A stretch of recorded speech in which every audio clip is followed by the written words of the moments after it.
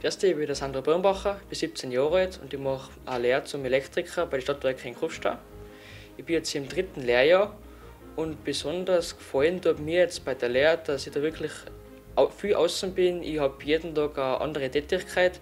Es kann mal was grob sein mit einer Maschine, mit einer Hilde oder was.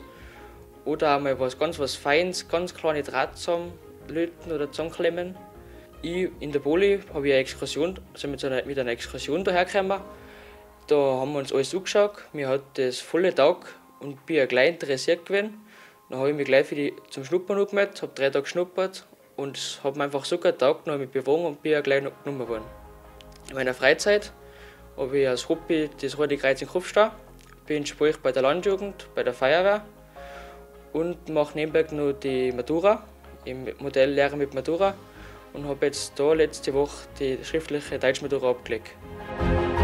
Sandra Bambacher, ein äh, junger Elektrotechniker im dritten Lehrjahr, äh, kommt aus Schwoich, äh, arbeitet hier in Kufstein in den Stadtwerken, wird hier ausgebildet äh, und bringt sich beruflich extrem positiv ein, hat also ein gutes Zeugnis von seinem Ausbildner. Äh, abgesehen davon ist er äh, ein Schüler, der alles sehr gut in der letzten Klasse der Fachberufsschule äh, vorweisen kann.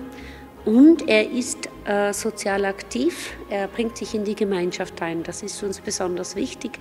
Es ist natürlich nicht einfach, wie es eigentlich für keinen aktuell ist. Bei der Feuerwehr ist es so, wir haben Übungen abgesagt gekriegt, es war lange Pause, dann auch wieder ganz streng mit Masken und weniger Leid eigentlich.